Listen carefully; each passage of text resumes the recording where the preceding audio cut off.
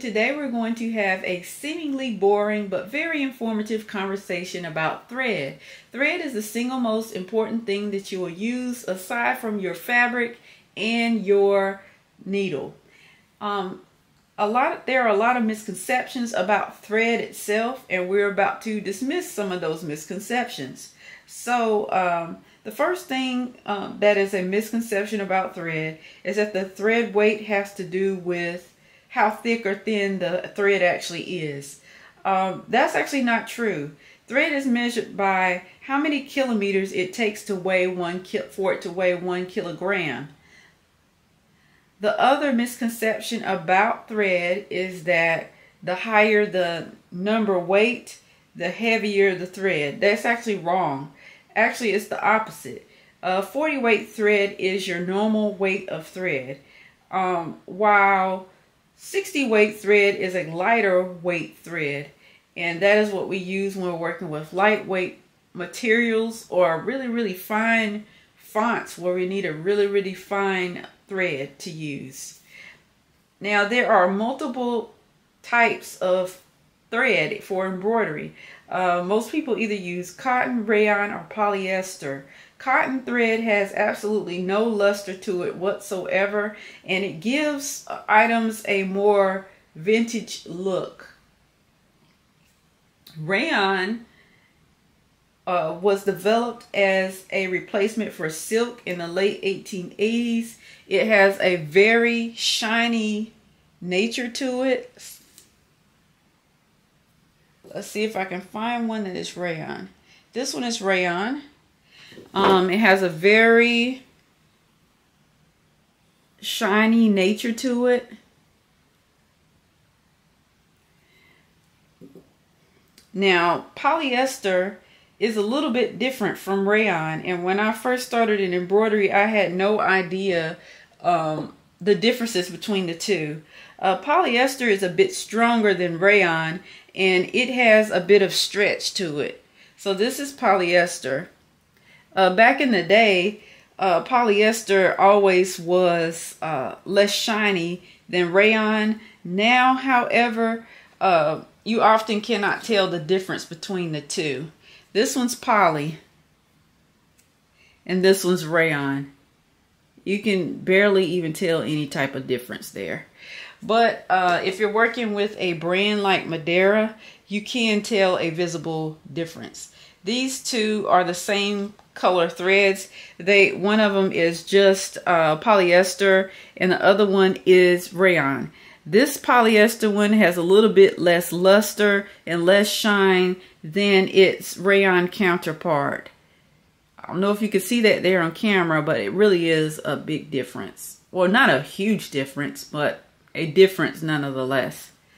One other thing that I want to mention about thread is that it comes in many different brands and if you are color matching for a uh, logo for a company, they are going to want a specific uh, thread color, and those thread colors are determined by number.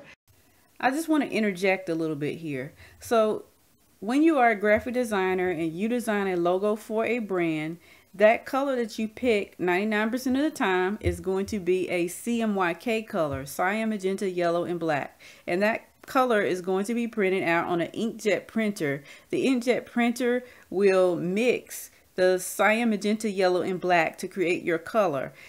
The problem with that is that different printers mix colors differently. So the color is going to come out slightly different on each printer that you use.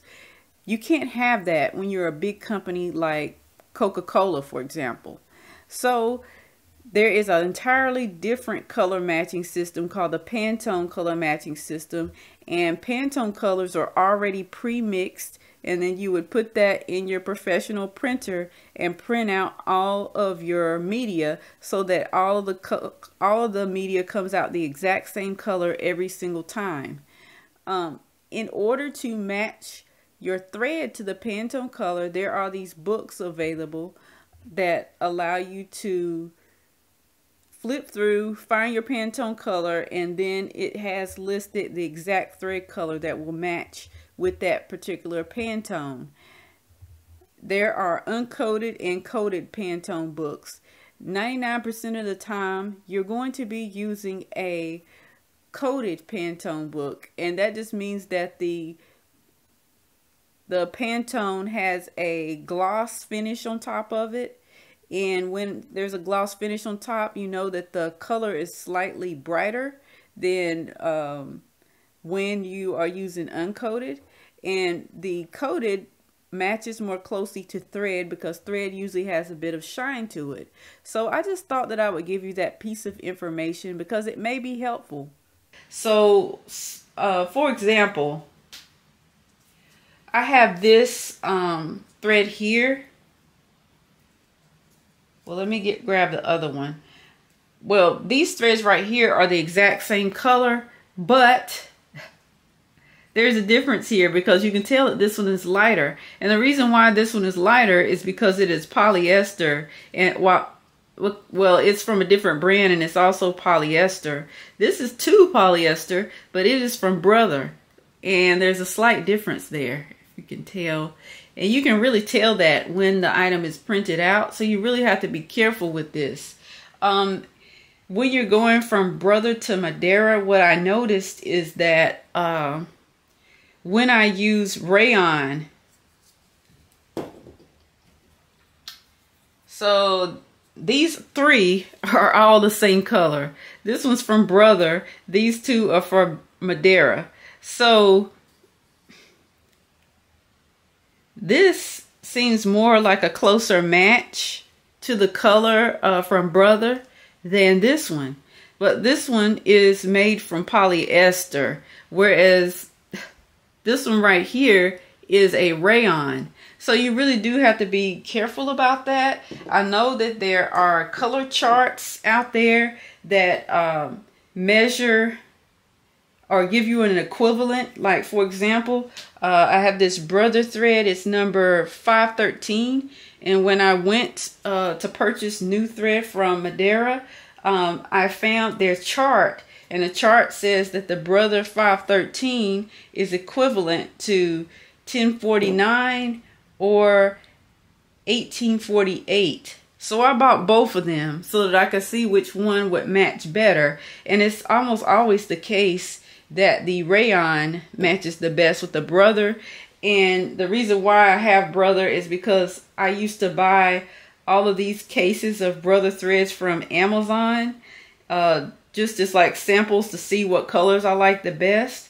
Um, and then once I found the colors that I frequently used and liked, then I reordered them from Madeira. So that's why this is the case here. Let's recap. Thread weight, the higher the number, the finer the project. We use Pantone matching system to match logos to their exact color thread. Colors aren't necessarily consistent between different brands of threads, so you must use a color chart to find the equivalent color, and you also must realize that there are differences between rayon and polyester thread in the shading of the colors that it comes out as. So you have to be really, really careful when you're selecting a polyester versus a rayon thread. If you haven't already, hit that subscribe button. Lots of awesome content is coming. Also, check out some of the other videos on my channel. I have this great video where I talk about how to organize all of your threads, so go and check it out. I hope you really enjoyed this video. Please like, comment, and subscribe to receive more sewing related content.